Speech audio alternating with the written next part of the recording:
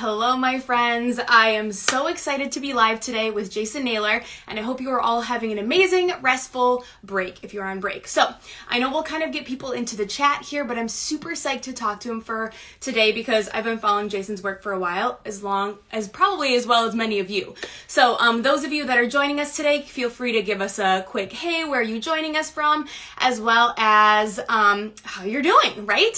If um, those of you that don't know me, my name is Sarah Krajewski, and I am an elementary art teacher, and I also um, do IG Lives for the Art of Ed. So I'm really excited to talk to Jason today. Um, again, if you don't already follow his work, you're going to want to give him a follow for sure because he is amazing. He has so many things to share about being positive, being creative, and his work is immensely colorful. So give me like a whoop whoop for those of you that already follow Jason um, so that you can kind of follow along. Now, as soon as he joins us, I will be asking him just a couple questions um, about his work, his new book, as well as some other very exciting things.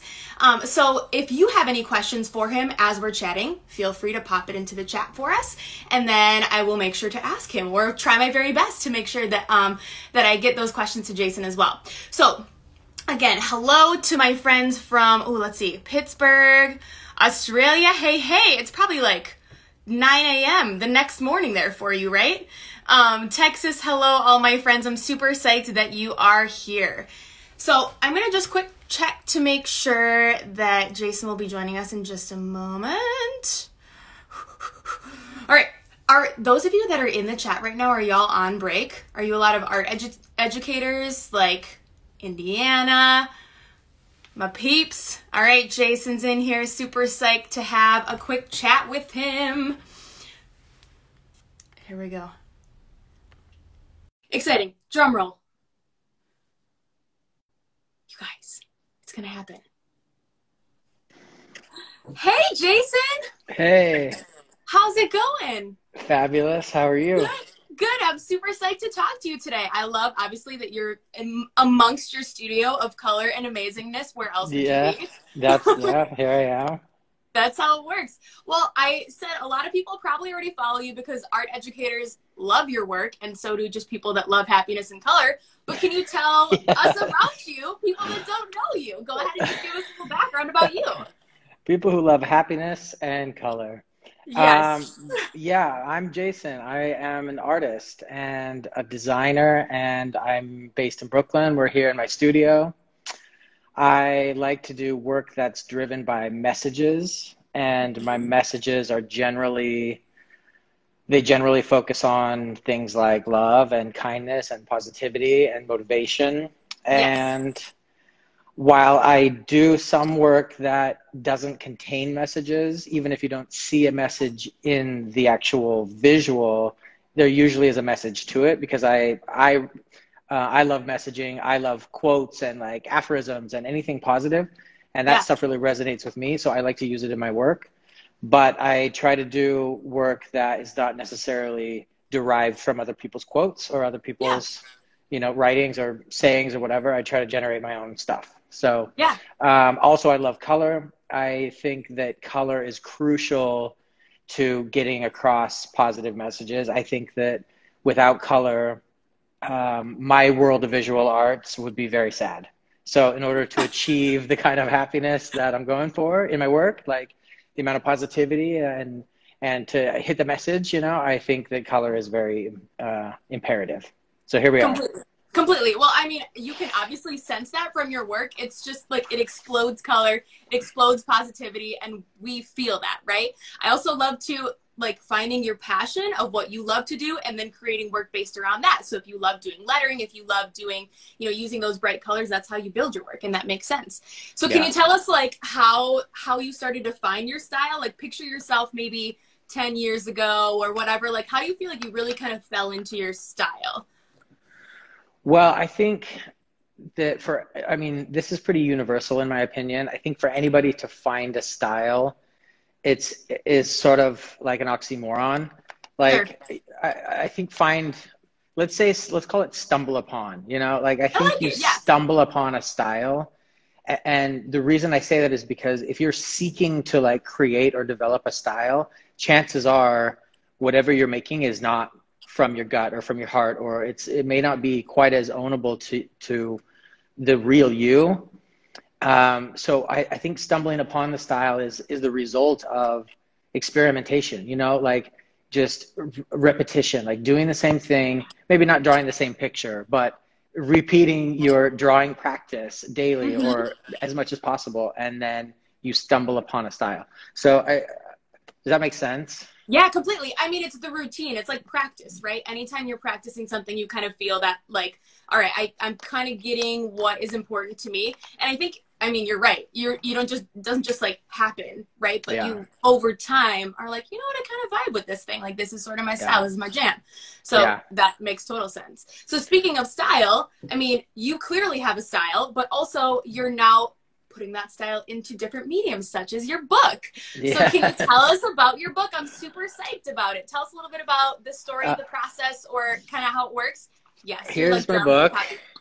Yay!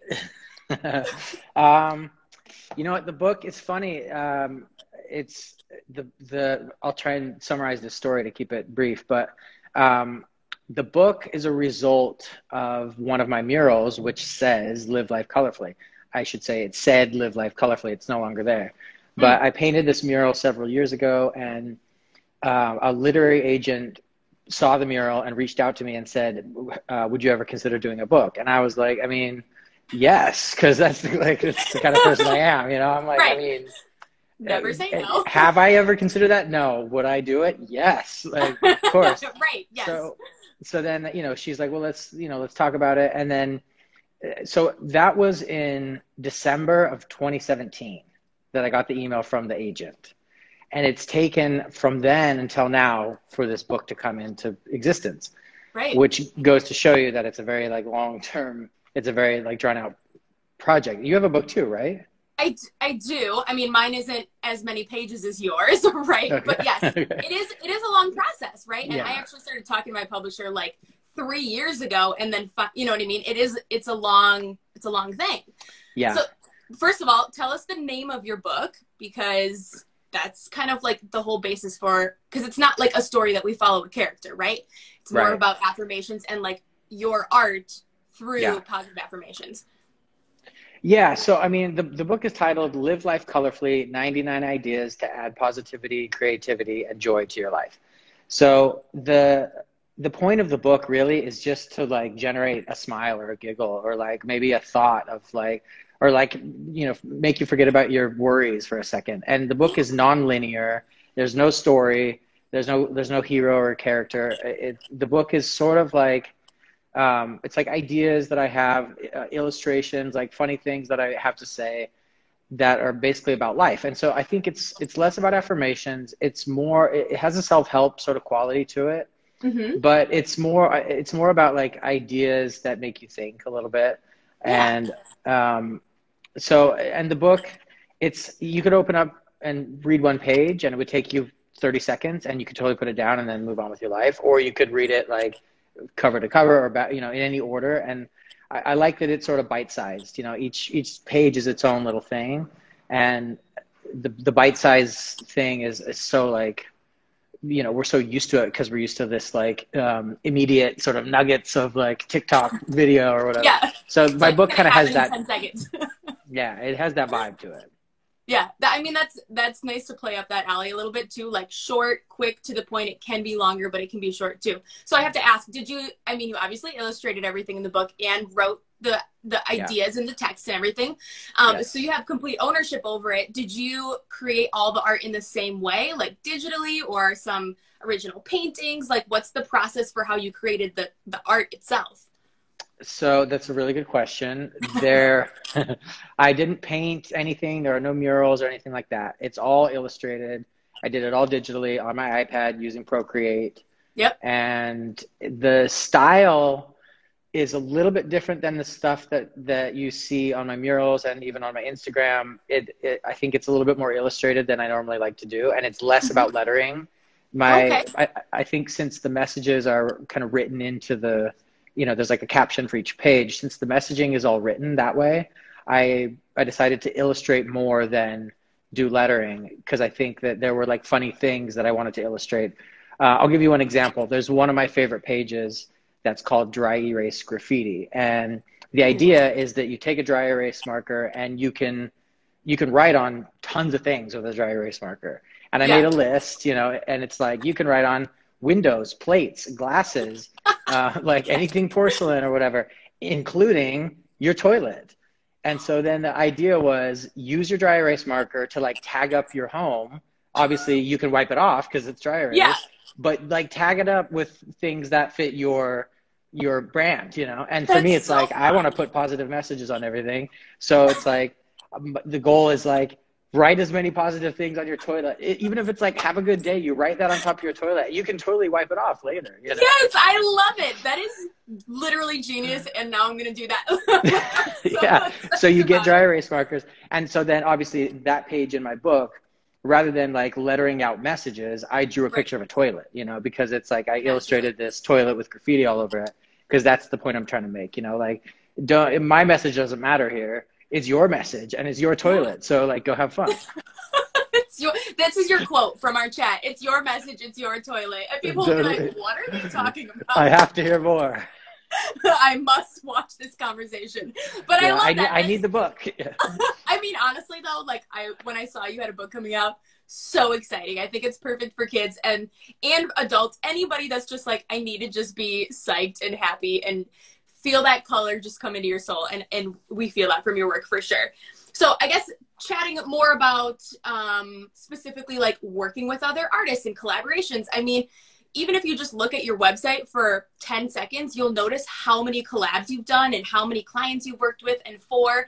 Can you tell us a little bit about what that's like or kind of like some of your favorite experiences with the types of clients that you've worked with? Yeah so um, if you I guess I should say, um, if you don't know this about me, I I started out my career as a graphic designer, and I worked in house for MAC Cosmetics for six years as a full time designer, art director, you know, whatever creative people do in house, and which we could spend Fine. another half hour talking about. We'll talk about that next time. right. Um, so I wasn't happy doing that, so I quit my job and became a full time artist, and here we are.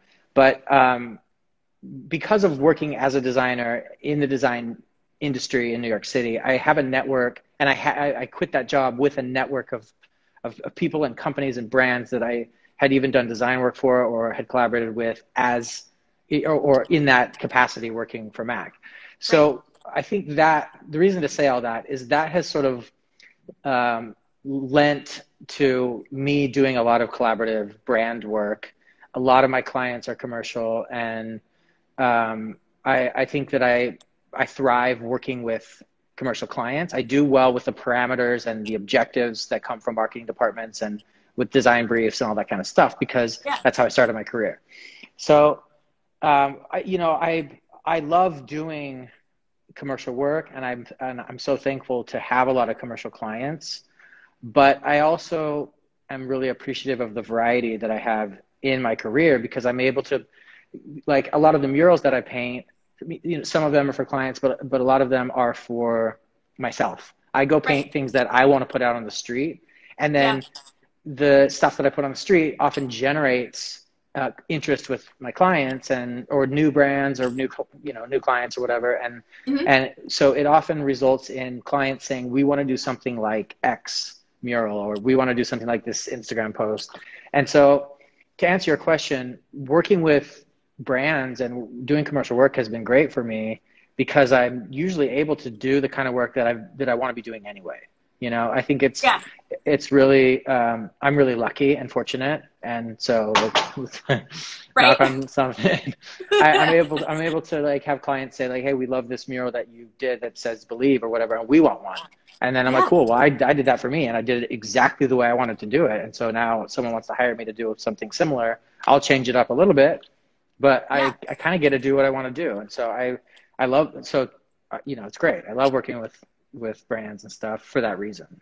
Yeah, I mean that that feels like the best the best way to be an artist that works with clients and can collaborate with people is to say, all right, I'm still doing me, I'm still being me, but you're doing it through the lens of like, okay, helping a business or helping kind of get your get people to see your work. So that is you're right. That's a very um something you're very lucky to be able to do. Do you have an experience yeah. with a particular client that you're like super dope? I loved making like X Y Z, or something you're just like super proud of? Well, um, yeah. I mean, I'll, i should call out Sephora um, because Sephora.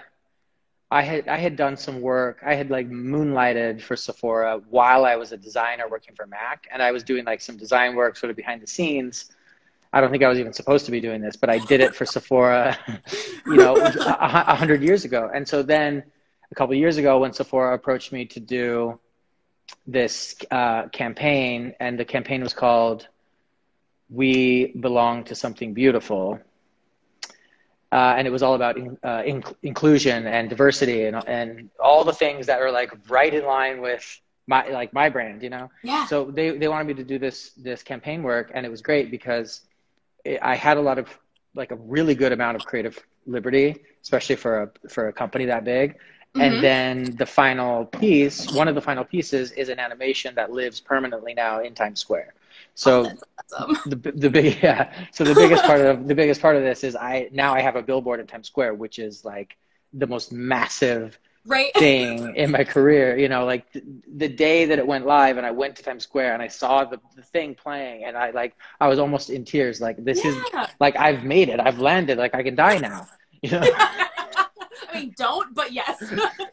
That's how it felt. You know, it was like yeah. the biggest thing that, like, bigger than I could have ever dreamed of, especially knowing that like I, years ago had like moonlighted doing some stupid little like logo designs for the for this brand that I thought was so cool then, you know. Yeah, yeah, so yeah. That was a pretty big thing.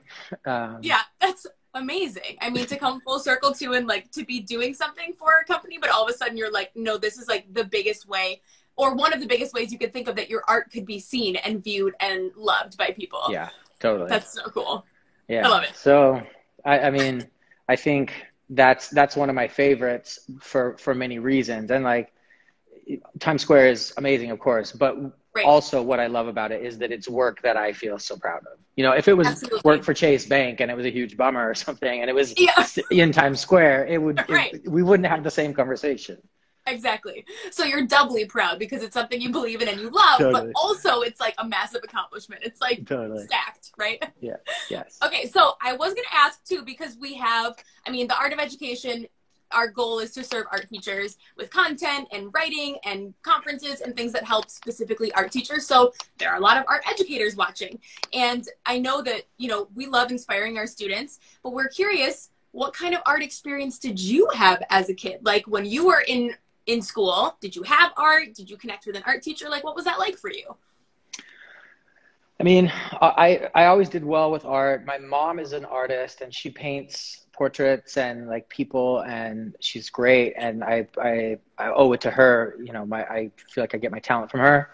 Um, I always had colored pencils and crayons and paper. Like I didn't. I wasn't playing basketball. I was drawing pictures, like for, yeah. all the way back. You know, so um, I did well in art classes. I, I, I think I, I, don't I don't remember ever not being in art class all the way through high school and like into into college where I studied graphic design.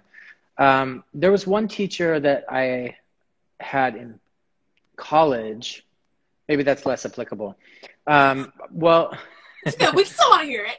yeah. Well, I, okay. So there's a teacher that I had, a professor in college named um, Maya Chachava and she prompted us to create this like massive page of doodles. This is an exercise that I remember, and it's totally like great exercise, regardless yeah. of whether you're in college or not. So the the exercise is to take a big, huge piece of paper, do as many doodles, and like use your um, as many tools as you can, and like fill the page with exploration. And then you take like a two inch by two inch, cut a two inch by two inch hole in a piece of paper, and like find a spot on that page of doodles that you like in that little two inch crop yep. and then take that design and blow that up to like the same size but just yeah. a little just the bit that's in the two inch square right that exercise kind of blew my mind um, because i i mean I, obviously it's a great exercise but i i think i discovered something about like blowing things up that really clicked with me oh yeah um so let me just I'll, I'll, leave it at that great exercise great teacher and like totally do it um, with your kids. Yes, yes. Then another let me let me just say one more. Um, another exercise that I remember, which was really cool, um, was with Mrs. Brown in eighth grade. I can't believe that I remember that name. Um, and this was Jason. totally. um, we made so it was like a group. I think it was a group project, and we we did the grid method to make a mural. And each person we you know put the grid on the on the design, and each person painted their you know whatever size square, and we pieced it all together. And I and I was really into comic books. Surprise, surprise. And me and my buddies in art class, we created this mural of Spawn. And if you don't know what that is, Spawn is a uh, uh, Image Comics character. So, mm-hmm. you know, it's like Superman or somebody, whatever. This yeah. guy's name was Spawn. We created this. I think it was probably like eight squares by eight squares. So maybe it was like an eight foot by eight foot mural, which to a mm-hmm. kid is huge, you know. You're like two feet tall, so of course. totally. So we made this mural, like each of us doing the square, and I and I remember that I somehow ended up being able to keep it, and I kept it for for a long time. I don't know where it is now, but it would be amazing if I had it. Maybe my mom has it. Um, anyway, that was a cool project, and uh, obviously at the time I had no idea what my future would look like. But it's interesting to think about the first experience learning how to actually make a mural, you know, in eighth grade, and here I am doing it. Uh, of course, yeah. I never used that method. Well, you know, but you, but your excitement for creating on a large scale was born. Totally. Yes, during that. Yeah, yeah. I love it. I love yeah. it. I mean, I see a couple art teachers in the chat too, just like to try like that doodle project with kids. I mean, yeah. kids love just like having very few limitations and just creating, but then to mm-hmm. take what they make and turn it into something a little bit more complex, you're like, okay, now we're going to intentionally find a spot.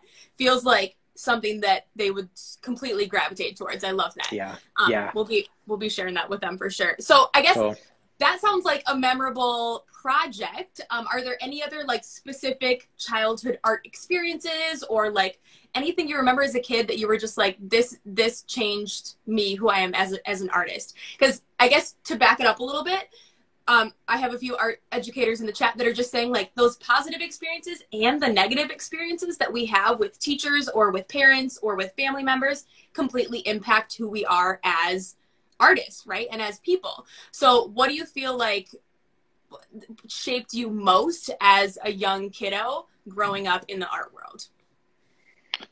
Wow. Um, what shaped me as an artist? I mean, you know, I don't I don't have a memory of like a negative experience as an artist, and I don't mean this to sound like cocky or anything, but I always no, did like I always did really well in art classes. I was always top of the class. Yeah. And and I have nothing but like good memories of of my art education. I, I think but to answer your question, I think there's so much more that goes into defining who you are as an artist. And I would yes. say that let's step away from art class for a minute and and and talk about like some of the things in my life and in the in the environment that I grew up in and like my school and my like I grew up as a Mormon in a you know Mormons are very it's a very strict religion like I and I I no longer practice that but I would say like there are there are maybe even like lessons from Sunday school yeah. that impact who I am as an artist today you know mm-hmm. that maybe maybe when I was a kid like learning singing these songs in the primary and Sunday school or whatever like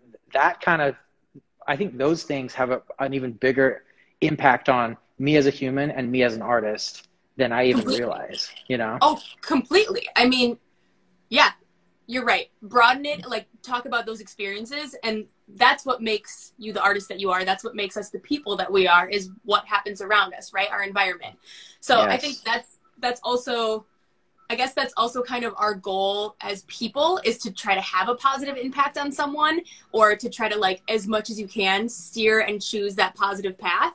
Um, yeah. Which I guess, I mean, so I'm thinking back to like I have, you know, a motivation board in my classroom where I have a bunch of inspirational quotes and I try to read a quote to my students each week. And oftentimes they are ones created by you because they're so colorful and they're beautiful and the kids just love them. So do you feel like there's anything about just about like mental health or keeping that positive lifestyle or making those positive choices that you can sort of give us a couple tidbits about how you feel like you manage that as an artist like always trying to stay positive Yeah, totally. I, I think positivity is a result um, of let's call them like wins that happen throughout the day. Mm. And yeah. positivity, you know, you can choose positivity and that's easy to say and everything, but it, that's actually really hard to just choose positivity when you don't have a lot of substance behind it. Right. So I think that like these daily wins that I'm going to call them, uh, for example, let's, let me define the daily wins a little bit. I, I think like you set your alarm for, for 8 a.m., right? Or maybe that's yeah. way too late for some of you, 6 a.m you set your alarm for 6 a.m. If you get up at 6 a.m., don't snooze, get up at 6 a.m. when the alarm goes off, that's a win because you, you set out to do something, you told yourself you would do it, and you did it. So that little win right there gives you confidence because you successfully did something. Like you have a you have a success under your belt, and then when you achieve, that gives you the, that confidence, and that enables you to like put that po- that positive energy that comes from the the win, from the success, from the confidence that enables you to, to apply it. So it's not choosing it, it's like applying it, right? Yeah, and the yeah, more yeah. you the more you have these wins throughout the day, and they can be anything. Like say that you're gonna um, finish this project, you're not gonna have lunch until you finish this project, right? It doesn't matter what time it is. You're gonna set like these little daily goals for yourself, and yep. you achieve those things, and then that fuels your confidence, and that in turn fuels your positivity. And so I, I think that for me, I am a very like structured, routine oriented kind of person, and I mm-hmm. and I, I, like to have these like little routines that I set up for myself, and they're not the same every day. It's not about me like I wake up every day at seven, and at eight I eat four protein bars, or like it's not like that. It's like yeah. each day I I craft like a, a little like like set of goals or set of things that I that I want to do or say or accomplish or check off a list in order to feel good as a human being. And some of them are work related, some of them are art related, some of them are like fitness, some of them are like i'm not going to eat potato chips today i'm not going on a diet just today i'm not going to eat any snacks like right. you know? Yes or whatever right? It, it, can, it, can, it, can, it can be whatever. The point is is, is like you got to have your own integrity. You got to do what you tell yourself that you're going to do and you will stack up wins on your own behalf and you will the result will be you will feel confident. You will feel yeah. positive you know you'll feel good about yourself. And when you feel good about yourself you do better art. I mean you're you're preaching it. I love it jason. I mean honestly what i'm hearing when i hear you talk is like choice and control. You're not like oh happy stuff will happen to me. Like things i'm gonna just be happy you know it's like you're you're filling that bucket and you're feeding yourself with all of the choices that you do to continue remaining as positive as possible. And it just like makes makes you glow. It's perfect. Um, I think that is a great description of it and hopefully some hints for people too. Before I forget, I'm going to read this quick question in here. Um, it says, What would be the ideal way to survive in this materialistic world as a minor artist without giving up my dreams and passion? So maybe just a kind of a um, contradiction from uh, practicing material creation versus maybe something a little bit more complex um, or maybe exploring an idea that might be more in line with that dreams and passion. Do you want me to read it again? You got it. Yeah, yeah, read it again. okay. What would be the ideal way to survive in this materialistic world as a minor artist without giving up dreams and passion? Well, what does that mean as a minor artist? Well, let's maybe ask and see if Hang Lees will give us a little uh, a little definition. Give us a little more info about that one, maybe as far as like kind of balancing it sounds like what you want to do and what you maybe feel like you need to do to make money right? Yeah yeah. I, th- I mean that's a tough question. Okay what, yeah. what, what how would what would we recommend to survive the material world as a minor artist? Well the material world i mean i i think that like let's talk about the material world for a second. Like, is that right. a good thing? Is it a bad thing? I mean, it's a thing that we cannot escape. So, should we embrace the material world and be doing work that that talks about it, that that references it, that maybe mm-hmm. addresses it? You know, and yeah. that I think that maybe that is more of a conversation about passion. Like, what kind of work do you want to be doing? Where does your passion live? Is your passion right with the material world? Is your passion with commercial art? Is your passion against it?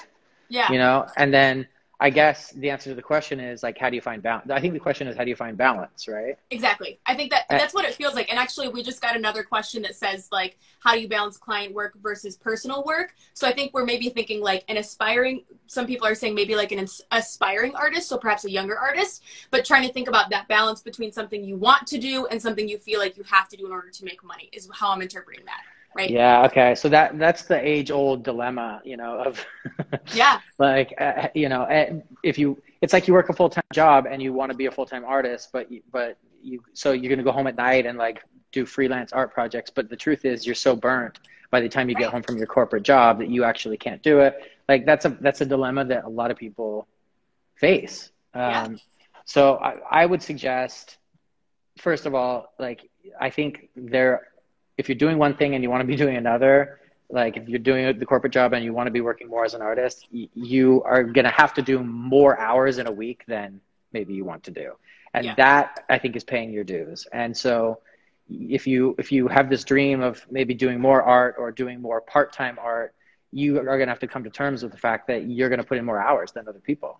And yeah. that I think is a question of your passion. Like, how much is it worth it? How much is it worth skipping dinner with your friends so you can work on your side hustle? And yeah. if you're passionate about it, you'll feel rewards from doing it, and I and you'll keep doing it. So I think. Yeah, you're right. I mean, if you're, it's as simple as that. It, well, it's not as simple as that, but it sounds like it is. It's like if you're enjoying yourself, if you're wanting to create, if you're coming home and you're like, you know what, I'm super, I'm super exhausted or whatever, but I have an idea and I need to get it out, then you'll make time for that. You'll, you'll have to make it work because it's important to you. And, um, I mean, that leads me a little bit to my next question too. And like I said, um, I have one or two more questions for you, but anyone else that's here watching right now, if you want to add a question for Jason in the chat, feel free to drop it in now.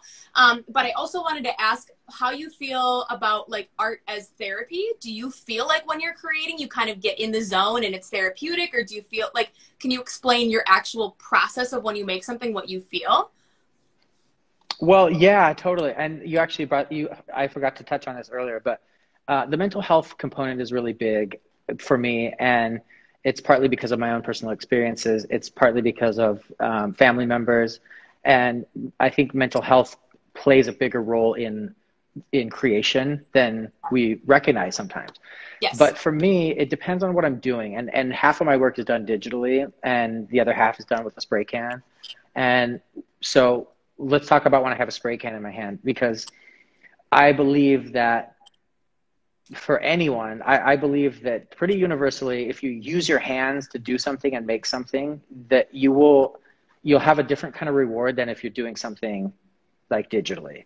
Mm-hmm. And so it's like even like if you're just washing dishes, like if you if you're having a rough day or something, like go wash dishes. Like you'll feel better, and it's it's almost like because you're using your hands to do something, yeah. you forget about like whatever is so whatever.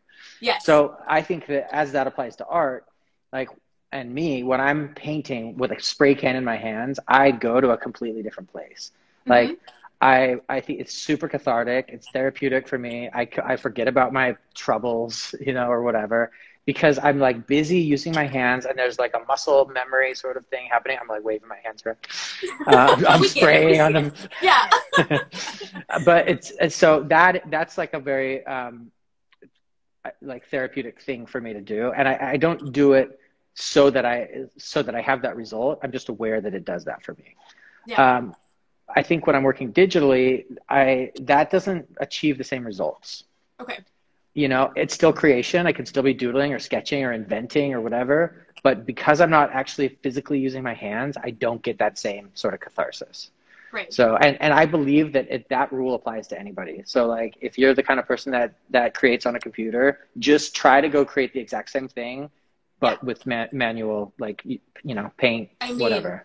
honestly for me it's like the undo button. Because when i'm on like my ipad i'm like i can just change this but when you're drawing in actuality as a physical piece of art you can't it's you have to be more feel like you have to be more intentional right? Mm-hmm. so you're when you're creating you're being a little bit more in the zone maybe because you're mindfully creating knowing that it will be it's going to take you more time to undo that than it would mm-hmm. if you were just kind of scribbling on ipad maybe that's mm-hmm. part of it too right is that meditation I, I, yeah you it's know? the meditative yeah exactly yeah. and the and the finished piece like if you actually paint something and you're holding it in your hands you have this yeah. tactile finished thing the sense of reward that comes from that is very different than tapping on a thing and having it fill in with color, which is magical and we love it. Of course. Yes, but it's, it's a different reward, you know. Yes, yeah. You you probably couldn't have created your book maybe as quickly as you did had you not had the ability to draw in that way, right? So of yeah, course it's right. magical and beautiful and wonderful. But yes, right. it's like, would you rather read a book or a, you know a, a, an electronic book, right? right what do you what gives you that sense of like you're actually holding it or you're actually created something, right? Um, yeah. I think that's a great way to describe it too. Yeah. So um, speaking of mental health a little bit, I know, I mean, we're like days away from the end of 2020. And though I know that like, you know, New Year's Eve and New Year's Day, there's not really that much that changes, right? You know, it's like, or, or it shouldn't, right? Because it's the, it's the same. We're just doing days. We're just counting days. But there's uh-huh. something about thinking about the, a fresh start of a new year that I think gives people hope, gives you kind of like some time to reflect, time to sort of start over a little bit. So, what are you either looking forward to, or what do you think is um, kind of a way to like reflect on how you're going to move forward as an artist, as a person, and and celebrate how far we've come? You know, people are looking for hope. like, I mean, I'm all uh, yeah, totally. No, I'm all about hope. I mean, uh, hope is a huge thing, and I think the fresh start idea is is great. Like New Year's is a great time for a lot of reasons. What I'm gonna do this year, um, I I feel like 2020 got lost a little bit. So this week I've been thinking about this a little bit. What I what I plan to do for my new year is I, I want to go back to one year ago and reevaluate everything that I that that I decided was like an objective or a goal for mine for me for my for 2020 yeah. because i feel like we're in this weird like twilight zone where 2020 began and i i had an amazing 2019 and i was like ready on fire to like hit the ground running even faster on you know 2020 january 1 like i had all these things planned you know and they all just went to shit and sorry they, okay like so um I, so I, what I want to do is go back and revisit like what what was I what was I flying high on one year ago? Like what got lost in this madness? Because March first, like the world just like stopped. Right. And it hasn't really like not much has happened in my list of to like in my to do yeah. list yeah. since March first. You know, I other things happened. I had a ton of amazing opportunities because of the pandemic and like sure. uh, you know i'm not i don't have any regrets or like i don't look back and think like i wish things would have been different like i'm happy that everything is happening the way it has and yes. in order to i think in order to continue to feel good about the way everything is i need to revisit where was i last year so yeah. i'm rather than like fresh start like i don't think it's a fresh start i think it's a continuation yeah. i think it's like where where was i a year ago what did i leave behind what did i forget about because let's now we're in a place where I can revisit those things, I can pick them back up, and I can continue to move forward.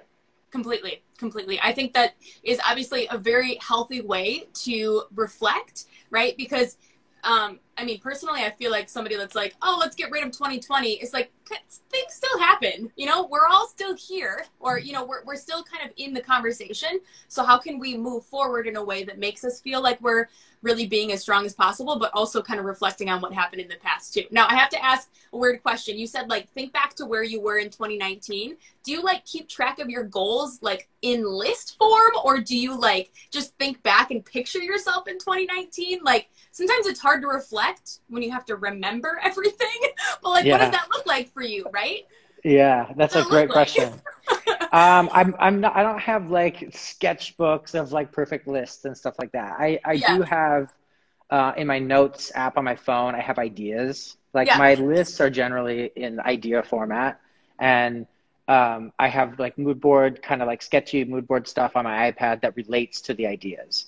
Oh, um, so and I, I, like I do occasionally make a list as it relates to an idea, but I, I, think the reason why I feel like I need to go back and revisit is because I don't have that list. If I had a list of like number one, number two, then I wouldn't I wouldn't it would be easier just to be like, well, I'm still working on three and three through yeah. seven, you know? Right. But instead right. I feel a little bit like I, like what I remember more about one year ago is how I felt. I remember oh, less about all the things that I was going to do because of the way I felt but I know mm-hmm. there was some good stuff in there. I know in my list of ideas, like I know in my sketchy like mood board stuff that I have on my iPad, I know there's some stuff in there that when I go back through it, I'm gonna swipe back to my iPad and I'm gonna be like, yes, I never did that, Yeah. and then I'm okay, gonna be yeah. able to like reinvigorate it and you know and and and pull it into the current workload. Yeah, that's exciting. And that's just kind of going with your theme, which which is like continuation, right? There's never like an automatic start or an automatic end to something, but you're just continuing to learn, continuing to grow. And I think that's really inspirational too. I hope people kind of pick up on how important that is, right? It's not magic. It's not like a snap. It's Yeah. it's more complicated than that. Totally. But Yeah. I, I- I think it's good to like do a New Year's resolution also because that goes back to like the little daily wins. You know, don't do a whole year of I'm going to do something. Do one day, you know, yeah. like mental health style, one day at a time. So think of like something that you're going to do or you're not going to do on New Year's Day. That's it. Yeah. Like Ooh, yeah. limit it, limit it to something that you can accomplish with a bang, you know, like Oh, I'm not going to eat ice cream all day on New Year's Day. 100%. I'm going to nail that. But what can you eat, Jason? What are you going to let Well, I mean, you've got to plan it for yourself, you know. Like, Well, I-. You know, know, you're right. if you're going to go out with a bang and you're going to eat ice cream all day New Year's Eve, then at least tell yourself you're not going to wake up and like eat hangover ice cream. You know, like right. right, right, right. You're gonna plan. You're gonna make yourself be as strong as you can. I love it. totally. I love it. I mean, I'm I'm just giving you analogies, but like, yes. you know, set yourself Yes. up to win so that you can get that win on your belt. Yeah, yeah, you're right. Starting off strong and then just continuing from there. I love it. Um, Yeah. I also saw. I was kind of watching the. Um, uh, I can't. I lost my word. But like watching the oh the progress of your hotel room that you helped to design. That's a super exciting new project that you were able to work on. Do you want to just tell people that aren't aware of what that was, what what it's all about? Yeah, totally. So, I mean, that it's such an awesome project, and I feel lucky that I was able to do it. It's a it's a hotel suite, and it's a partnership between a concierge service and the hotel and myself. The hotel gave up the suite and allowed me to gut it and do whatever I want.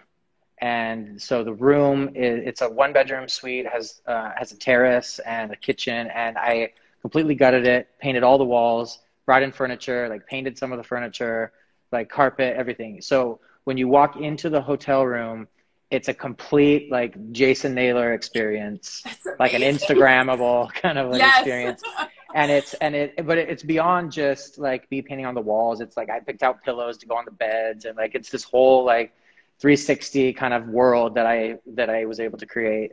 And the point of it is I mean, a- apart from like the marketing point of it, which is to like bring people into the hotel, right, the, right. the point of it the creative point of it is to it's called the dream room and it's to sort of create this oasis that's away from like the troubles of like the streets in like of new york you know i, I don't want to say the streets because it sounds like it's like well, you know, the streets like, of new york what, what i'm trying Yes. to say is like it's supposed to be like this sort of like utopia that takes you away from your existing life whether that's Yeah. amazing or difficult or challenging or whatever it is it's a breath Mhm. of fresh air from that Yeah. and that's the that was my goal. So the so when you when you walk into the hotel, the hotel is nice and boutique and cute and everything. When you walk into the dream room, it's like 180 degrees, and it's filled with like neon signs and like lights, and it has this dreamy quality. And like I'm so proud of it. It's you should be. It's so dope. It's really amazing. And I love to like again, it's not just like your murals on the walls, but it's like every little piece is like, oh yeah, Jason would have that in his house. Or like you get this Mhm. vibe where it it all just fits together, right? And that's Mhm. that's the experience, which I think is more um you know, sometimes art is a flat piece that we experience and we love, and sometimes art is like an immersive um, Yeah. experience, and that feels like something that um, that that you can describe in that way. Totally. Yeah, exactly. And and I think in when it when the art is an experience like that, you leave less to the imagination. You know, I, I think a, a two dimensional painting on a wall has has more power to like provoke imagination and, and you can see it and like go to go to your own world. But this is sort of like I built the world for you. Like you Yeah, gotta yeah, you gotta you gotta live it my way. know, A little bit, Right. you know. Yeah, for a little sure. bit more than if it's just a painting. Yeah, of course. But that's that's why it's great, is because you're telling your story and you want us to be Yeah. part of your immersive experience. I love it. Yeah, You're getting a bunch of beautiful comments, Jason. People are so psyched to be here chatting with you because we love your work. It is it is just awe-inspiring. So thank you for being able to chat with us today. Now I'm going to do a couple other things really quick because I want Okay. you to make sure you plug your book and um, tell us where we can follow you and all that fun stuff if people are not aware or what your upcoming projects are. But Okay. um, I'm going to ask everybody to just turn on your like imagination hat for a second because um, I run the IG live chats every Monday and I'm going to be continuing them. And I'm going to just do like a little quick, I love giveaways, right? People love free stuff. So I'm going to just pre- like pretend that this Art of Ed sticker is like holographic because I don't have the holographic ones yet, but just pretend, right? okay. So Yeah. I'm going to ask we all have an imagination. just just pretend it's like rainbowy and amazing, right? Yeah. So I'm gonna ask um, everybody in the chat a question, and the first person to answer will get a sticker mailed to them, and I'll message them through the Art of Ed. So here is the question. Okay, how many ideas are in Jason Naylor's new book? First to answer. First to answer. How many ideas are in Jason Naylor's new book? You guys, come on! I know you want a sticker.